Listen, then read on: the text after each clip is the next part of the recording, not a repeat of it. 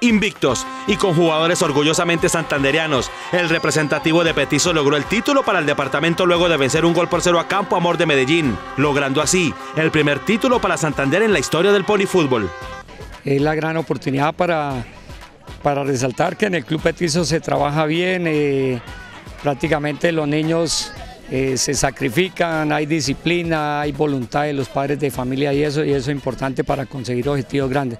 La alegría que se siente de ser campeón por primera vez y, y bueno, hay que celebrar. Petizos es uno de los equipos que viene dando buenos resultados en la región, pues no solo lograron el título en Medellín, también vienen siendo protagonistas en el torneo municipal, en donde se quedaron con el máximo galardón en la categoría sub-12. Hemos ganado absolutamente todos los torneos este año y, y si uno no está feliz con eso, yo creo que, mejor dicho, Trabajo duro, todos los entrenamientos hay que, hay que meterlas con todo.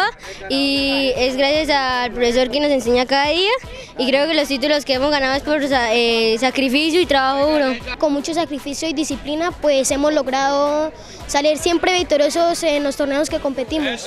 Toda una familia compuesta por técnicos, jugadores y padres de familia, quienes son los principales gestores de un proyecto que pinta muy bien en el fútbol formativo de Santander. Son nuestros hijos los que están en la cancha, entonces uno se personaliza, uno mete cabeza, hace los goles. Entonces e, e, esto, esto es euforia, esto es euforia, el fútbol es esto. Campeón, la palabra más anhelada al inicio de temporada para estos pequeños gigantes que están de pláceme y festejando uno de los títulos más importantes en la historia del fútbol hormiguero a nivel formativo.